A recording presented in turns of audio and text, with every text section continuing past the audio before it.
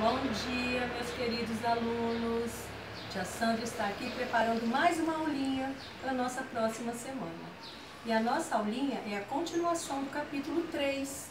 Vocês trabalharam no capítulo 3 as coordenadas, as ruas paralelas, concorrentes, transversais, perpendiculares, né? E agora a gente vai trabalhar parte dos sólidos geométricos, das figuras geométricas, dos sólidos geométricos. Bom, para começar a nossa aulinha, a tia Sandra fez três grupos aqui na mesa. Três grupos diferentes. Primeiro, o que será que são sólidos geométricos? Vocês costumam é, falar, ah, eu vou assistir um filme 3D. O que, que será que são 3Ds? Pois é, os sólidos geométricos, eles são figuras tridimensionais, tá? Porque eles têm três dimensões. Tá? E quais são essas dimensões? É o que a gente observa, é a altura, a largura e o comprimento. Né? Por isso que eles são chamados de tridimensionais. Bom, mas a gente tem as figuras planas. Para a gente compor, formar os nossos sólidos geométricos, nós precisamos primeiro da planificação. Por exemplo, aqui nós temos uma planificação, ou seja, figuras planas. Nós temos figuras planas quadrado, que é o mais comum, o triângulo e o retângulo. Essas figuras, desde cedo, vocês começam a ver, desde a educação infantil, não é? O círculo, né? O círculo. Então, essas figuras planificadas, elas são chamadas de figuras planas. Por exemplo, olha só, para eu montar a minha pirâmide, que é um sólido geométrico, eu preciso da planificação dela, tá vendo? Olha a planificação dela. Todos os lados que nós chamamos de faces, esses lados aqui, eles são chamados de faces da matemática, tá? Então elas são triangulares. Todas as pirâmides são formadas por triângulos e o que difere é a base dela. Tem pirâmides de base quadrada, tem pirâmides de base triangulares, né? Por exemplo, essa daqui, ó, se a gente montar essa pirâmide, nós vamos ter uma base triangular. Bom, nós temos aqui os paralelepípedos, olha, os paralelepípedos.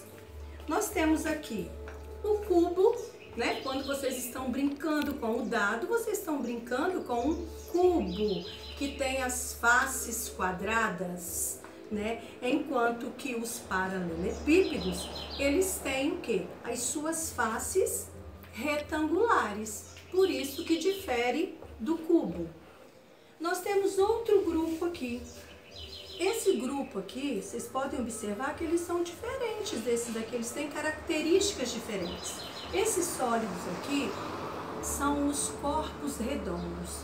Por que corpos redondos? Porque eles rolam fácil, porque eles têm superfície arredondada. Nós temos aqui, olha o meu vidro de biscoito. Ele é um cilindro com duas bases. Ó, o cilindro, ele tem duas bases idênticas. Olha, esse daqui também é um cilindro com duas bases idênticas. A latinha, ó, também é um cilindro Aqui nós temos um objeto muito desejado, tia Sandra gostava muito, que é a nossa bola. A nossa bola, ela é um sólido geométrico, ela é uma esfera, tá? O que vocês falam bola, na matemática ela é chamada de esfera, que também é um corpo redondo. Ó a nossa buzina aqui, ó. Nossa buzina, ela tem o formato de um cone, né? Um cone é diferente de um cilindro, tá? O cone, o cilindro, a gente vê que ele tem duas bases idênticas. O cone não. O cone é, ó, olha o chapéu aqui, um exemplo do cone. Olha só como que é a borda dele aqui, ó. É diferente. Aqui em cima nós temos um vértice, olha. Aqui em cima. Olha aqui, esse vidro aqui, ó. Ele representa, o formato dele segue exatamente um cilindro também. Então, os corpos redondos são cilindro, cone e a esfera. Todos os corpos redondos, eles têm pelo menos uma superfície arredondada. Esses sólidos aqui, eles são chamados de poliedros. Os poliedros, eles se dividem em dois grupos. Nós vamos observar aqui os prismas e as pirâmides. Todos os prismas, eles têm duas bases idênticas, iguais. Por isso eles são chamados de prismas. Ó, é um prisma porque ele tem duas bases iguais. Esse aqui também é um prisma, porque ele tem duas bases iguais. O cubo também é um prisma, porque tem bases iguais. As pirâmides são diferentes dos primas, dos prismas. As pirâmides, elas possuem uma única base, tá? E aqui nós temos o vértice dela, né? Então, nós temos aqui as arestas, que nesse encontro de arestas forma em cima um vértice, tá?